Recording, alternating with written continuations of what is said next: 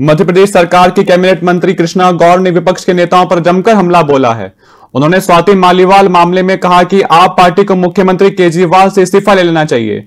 वहीं दिग्विजय सिंह पर भी निशाना साधा है। ग्वालियर पहुँची कैबिनेट मंत्री कृष्णा गौर ने सिंधिया राज परिवार के जय विलास पैलेस पहुंचकर राजमाता माधवी राजे सिंधिया को श्रद्धांजलि दी।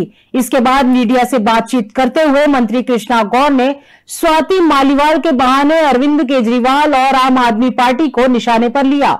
उन्होंने कहा कि आप पार्टी की महिला नेत्री को अपने ही घर में अपमानित होना पड़ा। उनके साथ मारपीट की गई। अब शब्दों का उपयोग किया गया।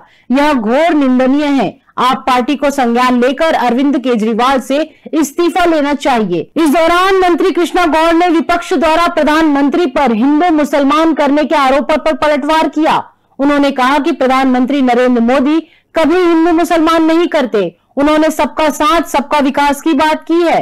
प्रधानमंत्री ने सबको साथ लेकर देश को आगे बढ़ाया है। वही कांग्रेस द्वारा ईवीएम पर सवाल उठाए जाने को लेकर मंत्री गौर ने कहा, कांग्रेस पार्टी की हमेशा से यही विचारधारा रही है। जब वह हारने लगती है तो ईवीएम पर सवाल खड़े करते हैं। दिग्विजय सिंह को अपने ही घर में बहुत बड़ी पराजय मिलने वाली है, इसलिए उन्होंने फिर से ईवीएम पर विलाप शुरू कर दिया है। और परमपिता परमेश्वर से उन्हें मोक्ष प्रदान करने और अपने श्री चरणों में स्थान देने की प्रार्थना की।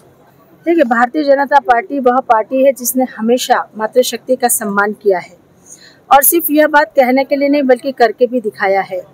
हर स्तर पर भारतीय जनता पार्टी ने महिलाओं को अवसर दिया महिलाओं को सम्मान दिया और जब कभी दे, कभी भी देश भर की किसी भी महिला को कोई तकलीफ़ हुई परेशानी हुई भारतीय जनता पार्टी हमेशा उसके साथ खड़ी हुई है।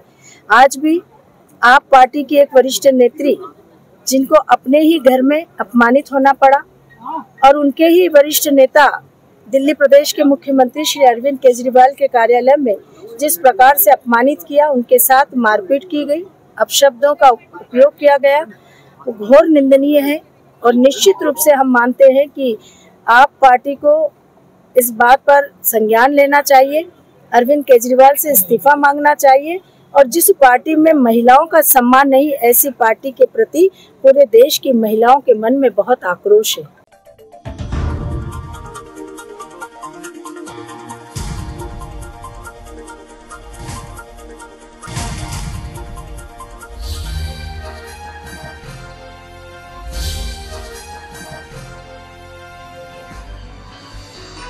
आप देख रहे हैं दखल न्यूज़।